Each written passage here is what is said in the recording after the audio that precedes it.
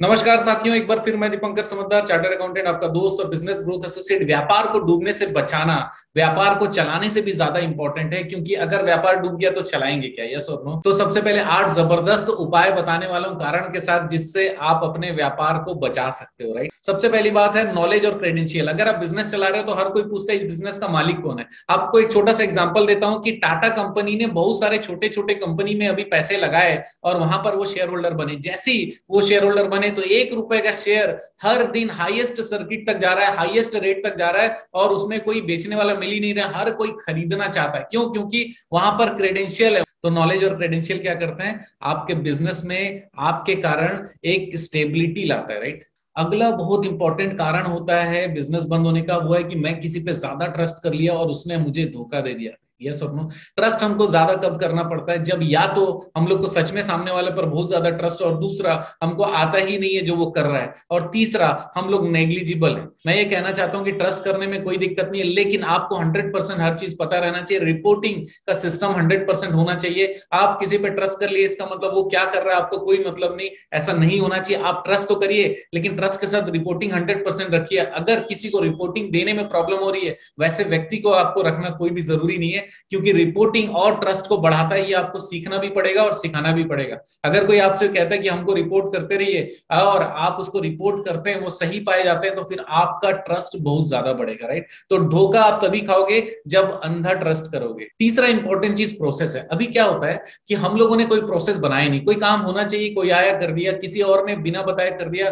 अगर ऑफ़िस में आपके सिस्टम है कि भाई अगर कोई आता है तो फिर पहले इस फ़ाइल में आएगी, उसके बाद इनके पास जाएगा, उसके बाद इनके पास जाएगा और हर जगह पे कहाँ कहाँ साइन होना चाहिए, कौन सा डॉक्यूमेंटेशन होना चाहिए। अगर वो सिस्टम ओके है, अगर आपका सॉफ्टवेयर है तो सॉफ्टवेयर में भी एक पर्सन पास करेगा, तब दूसरे के पास जाएगा, वो अप्रूव करेगा, तब आगे बढ़ेगा। जैसे बैंक में होता है, जैसे एनबीएफसी में होता है तो फाइनेंस कंपनी के लिए विशेषकर बहुत इंपॉर्टेंट है। स्मॉल बिज़नेस के लिए भी इंपॉर्टेंट है, और जो ग्रोइंग बिज़नेस है, उनके लिए बहुत ज़्यादा इंपॉर्टेंट है, क्योंकि अगर आपको फ्रेंचाइज देना और बहुत सारे ब्रांचेस खुलने बहुत सारा जगह आपका बिज़नेस बढ़ना चाहिए तो प्रोसेस इज़ वेरी इंपॉर्टेंट और प्रोसेस का ट्रेनिंग उससे भी ज़्यादा इंपॉर्टेंट है। प्रोसेस बना दिया, उसका ट्रेनिंग नहीं दिया तो आपके स्टाफ और आपके टीम मेंबर सही काम नहीं कर पाएँगे तो टीम टूटता है, अच्छे स्टाफ भी चले जाते हैं, सिर्फ़ इसलिए क्योंकि आपने प्रोसेस तो बनाया ट्रेनिंग नहीं दिया राइट नेक्स्ट पॉइंट जो करोड़ों का चीज़ है, वो है डॉक्यूमेंटेशन खर्चे हज़ारों के फ़ायदा करोड़ों का। कैसे?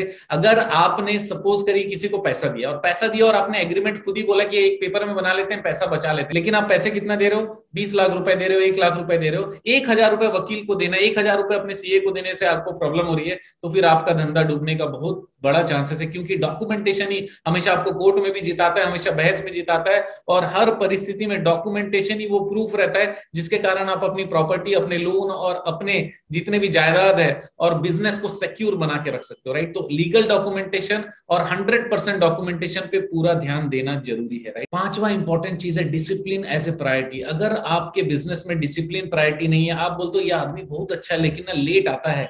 लेट आता है, आप अलाउ मत करो। आप बोलो कि बहुत अच्छे हो गए ठीक है, लेकिन हमारे ऑफ़िस में आपको समय पर आना पड़ेगा, हमारे जो ऑर्गेनाइजेशन में आपको समय पर आना पड़ेगा, जो जो काम का जितना टाइम दिया गया, उसी टाइम के अंदर में करना पड़ेगा। उसकी ट्रेनिंग अगर आपको नहीं तो हम ट्रेनिंग देने वाले हैं। लेकिन डिसिप्लिन बहुत ज़्यादा इंपॉर्टेंट है जिस चीज़ का जो डिसिप्लिन का रूल बनाओगे, वो प्रॉपर कम्युनिकेट करके सबको सिखाइए ज़रूर और डिसिप्लिन को बताइए कि अगर डिसिप्लिन नहीं माना जाएगा तो एक्शन लिया हंड्रेड परसेंट जाएगा राइट छठवा पॉइंट है ऑटोमेशन अगर व्यापार को मैनुअली कर रहे हो तो मैनुअल में गलती होने के बहुत ज़्यादा चांसेस रहते हैं। उससे बेहतर है कि हर प्रोसेस जैसे मैंने बोला प्रोसेस इंपॉर्टेंट है तो प्रोसेस को ऑटोमेट करना उससे भी ज़्यादा इंपॉर्टेंट है, क्योंकि प्रोसेस जितना ऑटोमेट होगा, उतना ज़्यादा काम कर पाएगी कंपनी उतना ज़्यादा फाइल्स प्रोसेस कर पाएगी, उतना ज़्यादा माल बेच पाएगी अगर वो रिटेल स्टोर है तो हर चीज़ में ऑटोमेशन आपका स्पीड कर देता है आपके बिज़नेस को। तो बिज़नेस और प्रोसेस को स्पीड करने के लिए ऑटोमेशन बहुत ज़्यादा इंपॉर्टेंट है। इसको ज़रूर करिएगा, क्योंकि ऐसा नहीं करने के कारण कॉम्पिटिशन में हार जाती है बहुत सारी कंपनी और डूबती भी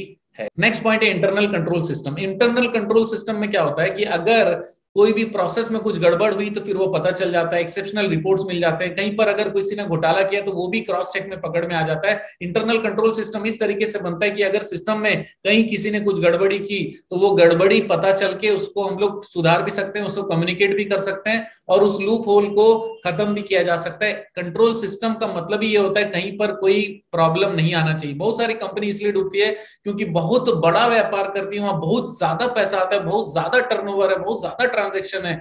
लेकिन उनका कंट्रोल नहीं है बहुत सारी चीज़ों पे। अगर दस प्रोसेस है तो दो में कंट्रोल नहीं और वो दो प्रोसेस के कारण रेवेन्यू लीकेज पिल्फरेज चोरी, बहुत सारी चीज़ों की संभावना होती है जिसको वो कभी पकड़ नहीं पाते क्योंकि ट्रांजेक्शन इतना ज़्यादा हो रहा है। तो internal control system is must चाहे आपका बिज़नेस छोटा हो, चाहे बिज़नेस बहुत बड़ा होगा। Last but not the least आपका किला जो बनाता है, आपके बिज़नेस को बचाने के लिए वो आईपीआर है। अगर आपके बिज़नेस का कोई नाम है, कोई प्रोडक्ट का नाम है, कोई ब्रांड का नाम है, उस ब्रांड को आपको ट्रेडमार्क करना ही चाहिए। अगर आपका कोई कंसेप्ट है तो उसको कॉपीराइट करना चाहिए। आपका कुछ नॉलेज है, कुछ ऐसा चीज़, कोई ऐसा टेक्नोलॉजी जो आप ला रहे हो तो उसका पेटेंट करना ज़रूरी है। क्योंकि जब ऐसा करते हो तो ये जो आईपीआर है, ये भी एक प्रॉपर्टी बहुत बड़े अमाउंट में सेल होती है। अगर आपका बहुत यूजफुल प्रॉपर्टी और सेल करने के लिए नहीं आपके बिज़नेस का नाम कोई और सेम नाम से यूज़ ना कर पाए, क्योंकि आप 25 साल से काम कर रहे हो, लेकिन केवल आपने ट्रेडमार्क नहीं कराया, केवल आपने रजिस्ट्रेशन नहीं कराया, इसके कारण सेम आपके गुडविल का फ़ायदा कोई और ले जाए तो कैसा रहेगा? ऐसा लगेगा कि कोई हमारा नाम छीन कर चला गया राइट